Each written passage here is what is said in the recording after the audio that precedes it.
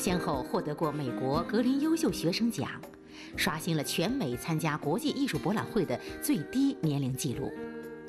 他们被美国天才儿童视觉艺术界的权威人士认定为天才。天才儿童视觉艺术界权威人物本·瓦伦丁撰文说：“能有幸目睹这对天才姐妹史无前例的艺术成就，真是奇迹般的经历。”她们就是来自于波士顿、年仅十四岁和十岁的美籍华裔姐妹花尹亮前、尹亮景。二零一一年十月十六日，这对拥有神奇画笔的姐妹花在北京中华世纪坛世界艺术馆举办画展，联手展出三十二幅作品，令人惊叹不已。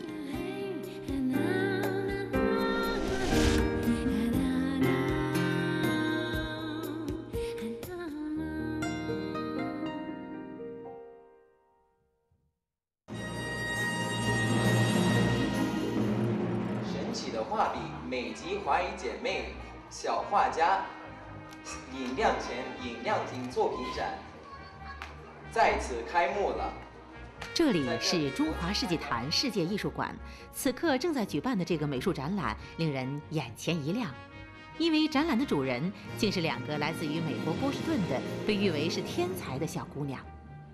开幕式上。中国对外文化集团公司副总经理万基元以及本次活动策展人乔万军先生在致辞中都不约而同地为这对天才姐妹花叫好。这两位姐妹是一个天才画家，小小的年纪画出这么精彩的绘画，不是天才你无法解释。我最大的一个动机做，一是天才毫无疑问的，其二。我觉着呢，我应该把他们俩介绍到中国来。呃，我叫尹亮前，呃，不久前我刚刚过完我十四岁的生日，我现在在美国读十年级，啊，高二。开幕式上，尹亮前、尹亮景先后发表讲话，因为两人从小就在美国长大，汉语、普通话差一些。姐姐说的倒还可以，而妹妹的讲话不时惹得现场嘉宾发出阵阵善意的笑声。我叫尹亮景，我十岁了。今天我非常高兴能在呃。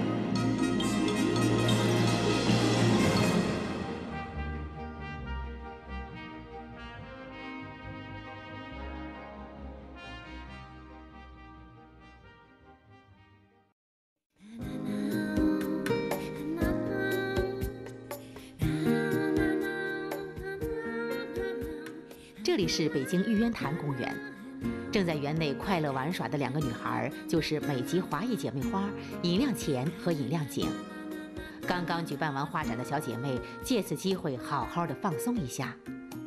姐姐尹亮前身材高挑，着装极具个性，着装风格和其画作一样有型有款，颇具未来感。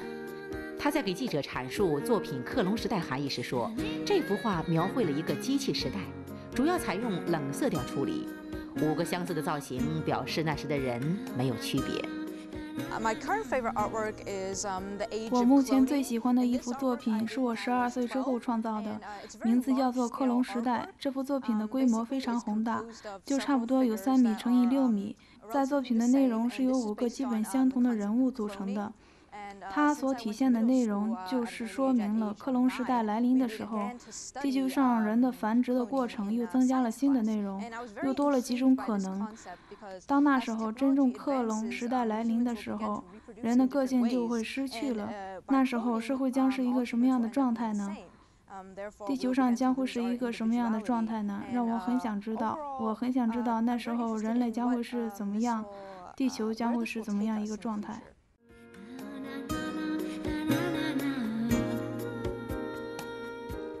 说完了姐姐，我们再来看看妹妹尹亮景。这个在八岁时就被艺术圈内人士与马蒂斯和毕加索等大师相提并论的羞涩女孩，面对镜头流露出罕见的成熟与平稳。在讲起自己的作品《寂静之地》时，头头是道。他说，这部作品之所以用黑色做背景，是因为他觉得黑色很神秘，可以把它想象成为宇宙。黄色是地球，蓝色是海洋。上面的人形是人类，他想用这幅画来表达一种爱。Currently, my favorite artwork is the artwork called Silent Land. 接近大地这幅作品，喜欢它的原因是这幅作品尺寸比较宏大，画面也是比较神秘，用色也是比较大胆，所以我很喜欢这幅作品。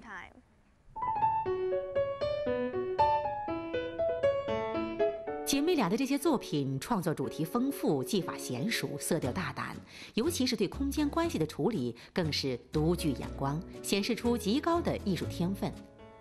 姐姐尹亮前无疑是一位现代的文艺复兴小画家，她的创作色调大胆却不过于沉重，她对造型和形式的拿捏游刃有余，她对于三维空间关系的处理熟练老道，她的绘画技巧臻于完美。而妹妹尹亮景三岁时在幼儿园，她所绘就的具有未来主义风格的人物造型，便将老师震惊了。四岁时，其特殊的艺术天才就已经展露在用丙烯颜料做的布上绘画，作品所表现出的成熟，远远超过其年龄数十载。人们不禁要问：这样的作品怎么会出自一个孩子之手？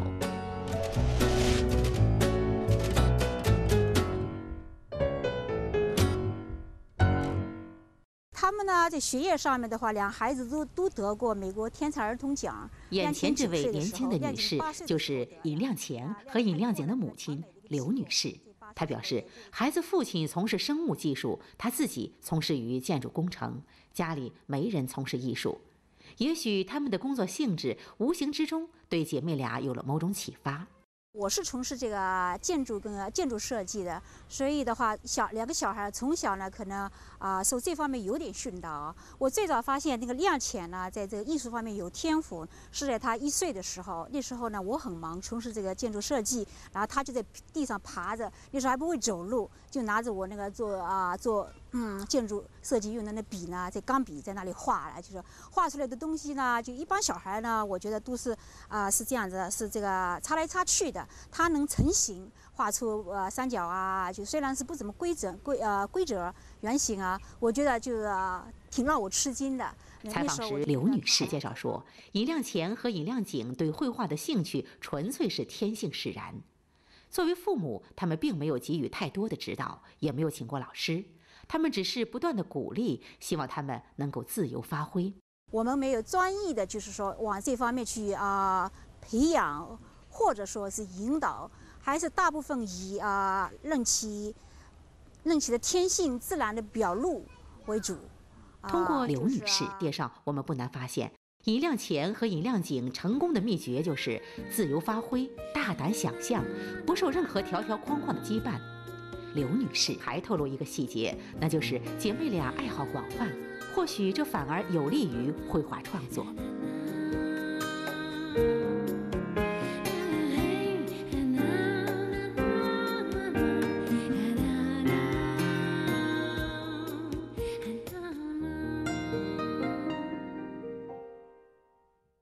这两个孩子呢，就是非常喜欢阅读跟写作，也很喜欢音乐。当然，他们的学校里的各种课程都非常喜欢，这些他们的喜好、他们的这兴趣的话，对他们总体的艺术创作都是有非常大的帮助。Well, um, I've always been a very avid reader ever since I was very young. Um, therefore, 从小我就非常喜欢阅读，所以小的时候就阅读了好多神话，各种各样的传说，所以我的作品中有好多东西可以跟这些神话传说有一定的联系。我对画画以外呢，我很喜欢看书，很喜欢写作。写作是从六岁开始写，已经写了好多好多小说了。我也喜欢音乐，喜欢弹钢琴。我觉得这些活动总体上来讲，对我的绘画是非常有帮助的。虽然绘画时间不长，而且没有经过指导，但是姐妹俩的战果可谓辉煌。尹亮前十岁时就已经参加了拉斯维加斯国际艺术博览会，与成人画家同台献艺。尹亮前多幅作品被收藏家们收藏，单幅画作的拍卖价格达到二点八万美金。在这次博览会上，尹亮前创下了全美参加国际艺术博览会最低年龄的记录。而在二零一零年，这一记录被当时年仅九岁的妹妹尹亮景打破。毋庸置疑，这是一对地地道道的天才姐妹花。这是一个天才画家的画。为什么这么说呢？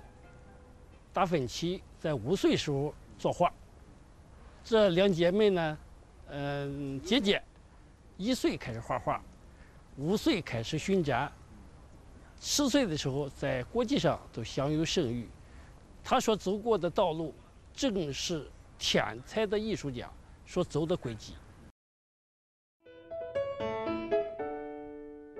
为了给中国的儿童艺术创作提供新的启发与借鉴，同时也为了促进中美民间，尤其是两国青少年之间的文化交流，中国对外文化集团公司所属的中国对外艺术展览有限公司，因此主办了这次美籍华裔小姐妹绘画作品展，其意义不可谓不重大。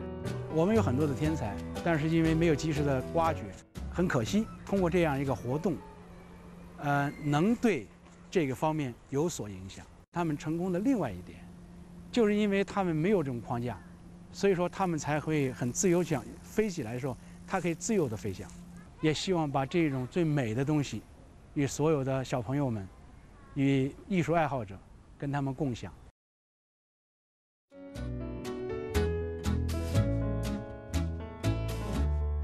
虽然本次画展已经成功落幕，但是尹亮前、尹亮景这对美籍华裔小姐妹那神奇的画笔一定会令人久久回味，并带来许多意外的启迪。